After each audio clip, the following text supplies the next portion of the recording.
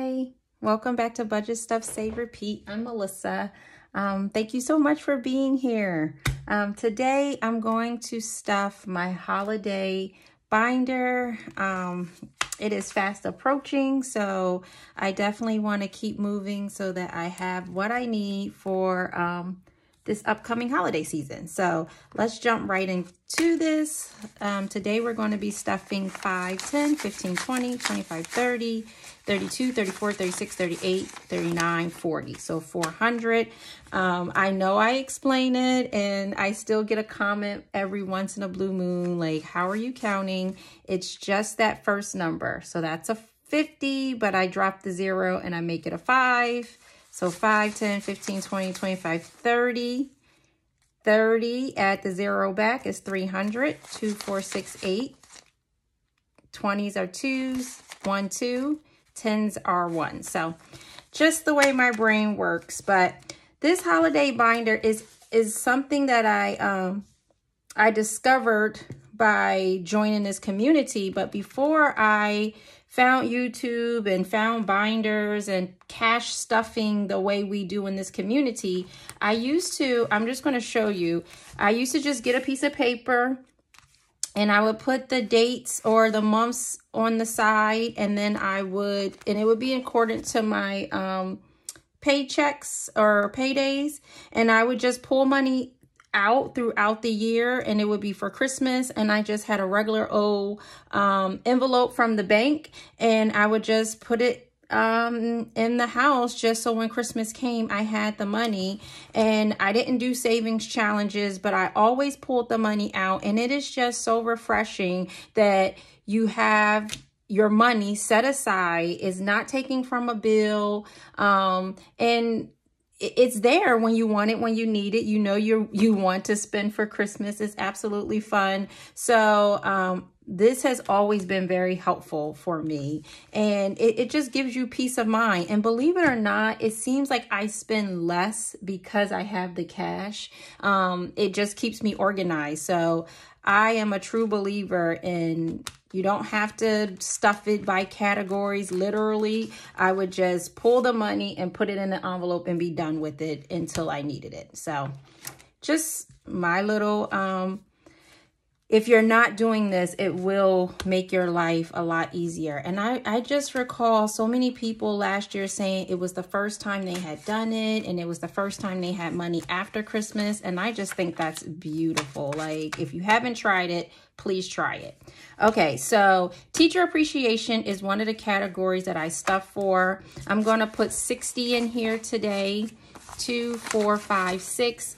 Um, I buy for teachers and, um, but this, I was thinking about it because I think I am trying to put aside uh, $600 for teachers this year, but it is going to include some other areas um, as far as um, just the little gifts that we give out to like the postal workers, our garbage um, collector. Um, I'm trying to think who else I included. We get a newspaper, but not like um, old fashioned. Well, it's a newspaper, but it's not a newspaper for like the news. It has local um, news in there for the town that we live in. Um, I don't even know why we get it, how we get it, but he left us like a, hey, I'm your deliverer and his contact information. So I take it he wanted a little gift too. So it's all good. I find out about things that's going on in my town that I wouldn't have otherwise known. But I already colored in the tops for um, this tracker. And this is for teacher appreciation. All right, it looks like everything is color, No bows are left. All right, so for teacher appreciation, so far we have 2, 4, 6, 8, 10, 12, 14, 16, 18, 22, 24, 26, 27, 28, 29, 30, 1, 32. So $320 is in our teacher appreciation. And this will come in handy for whenever that Target gift card um, deal goes on where you get 10% off the gift cards. I'll just go in here and buy the gift cards um, with this money.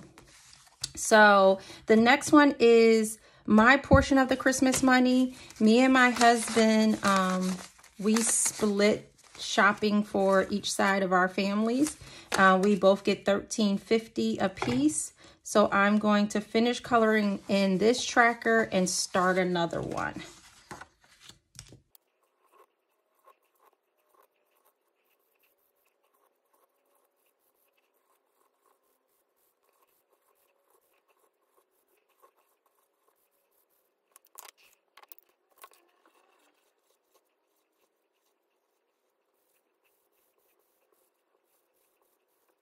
Alrighty, so um, we have completed two trackers already.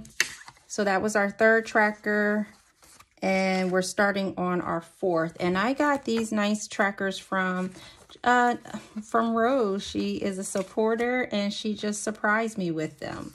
So I'll just go ahead and put those in order. So let's see what we have for my portion of the Christmas money.